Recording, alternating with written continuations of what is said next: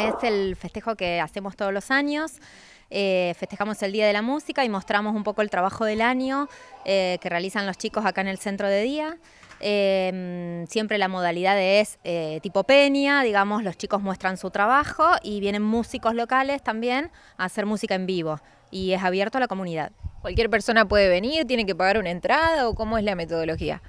Es abierto, es gratuito, también pueden recorrer las muestras de los talleres, Vamos a, volver a instalar la, muestra fotográfica que hicimos para Santa Fe Juega, o sea que la van a poder ver.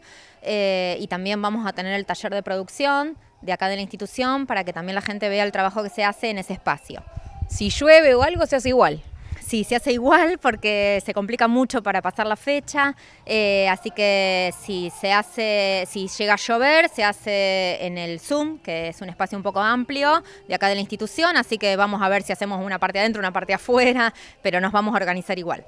Hablábamos con Karina de que la música y el arte es una forma también de integrar y es un lenguaje común. ¿Cómo se trabaja acá en el centro de día un poco con estas actividades?